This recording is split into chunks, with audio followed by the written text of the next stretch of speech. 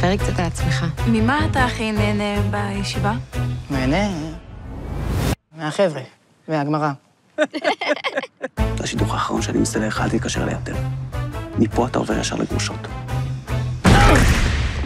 הגוילה מפראג. אבא שלי רוצה את הכי טוב בשבילי. לנסיכה צריך נסיך. הכי טוב שיש, אשכנזי. נראה לי נלך ישר על פרידלנדר. אין יותר טוב מזה, מוטי. אני רוצה לראות פה וורט. יכול לבדוק לי משהו? על פרנלן לי. נחמי.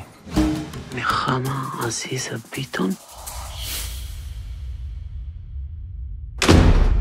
שכח מזה מוטי אגר. אתה מופקע לגמרי, מופקע. מרוקאית? וואו, וואו, וואו. האשכנזי היחיד שנחמי יכולה לקבל זה סוג ג'.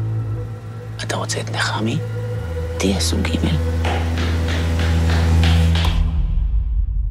מה קרה? פתאום לא רואה. השם ישמור, תראי מה הילד הזה מוכן לעשות בשביל הביטון הזאת. הגמורה אומרת, אין מזווגים לאדם אלא לפי מעשיו.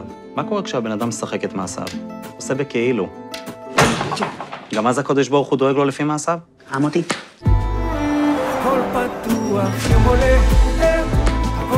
אבא, מה אתה עושה? אני לא יכולה לתת לזה לקרות. שלחת להם אריסה? אבא דרג אותי בגבץ' הזה שלו.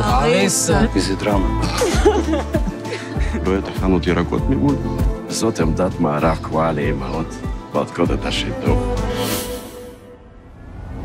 ברוך. מה אתה קופץ? הבנתי. טוב, תן, תן לראות. אז מה היא ענתה? Non.